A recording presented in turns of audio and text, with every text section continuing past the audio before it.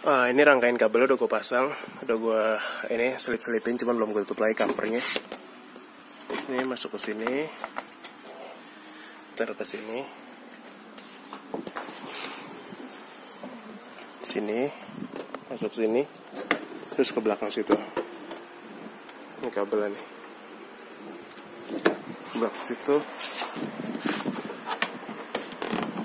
terus ke sini ini kabelnya jadi gue ngambil plus plus minusnya dari sini. Nggak gue potong kabelnya cukup gue selipin aja di soketnya. Yang plusnya itu kabel warna biru. Yang minusnya itu kabel warna hitam. Ini ngambil listrik dari lampu mundur ya. Di ini sebelah kiri di sebelah kanan nggak ada isinya. Ya di sebelah kanan ya. Tuh. kosong. Jadi di sebelah kanan dia ngambilnya kabelnya lewat bawah ke sini juga. Jadi sama aja. Dan kamera parkirnya nih gue pasang di sini.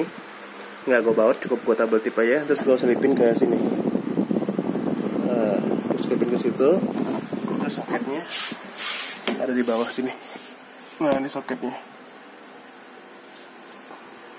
Sebenarnya macam-macam sih caranya. Lewat dalam sini juga bisa cuman harus dibolongin. Jadi karena gue bolongin gue pakai cara gini aja. Dan ini udah berhasil ya. Coba gue gue contohin cuman ini LCD belum gue pasang ya. Jadi gue cuma kasih lihat aja kamera nyala kontak on. Gue pindah ke reverse ya. Oh, sensor parkir udah bunyi. Ini bunyi karena dekat tembok nah kameranya nyala ya. Gue parkirnya udah nyala oke. Okay.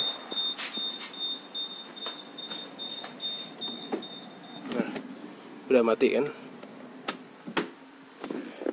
Terus oh iya, gue lupa ngasih tahu tadi. Ini gue masukin kabelnya. Tadi kan gue pikir gue mau bolongin ini kan. Mau gue bolongin, cuman sayang. Jadi akhirnya gue gue selipin aja kayak gini.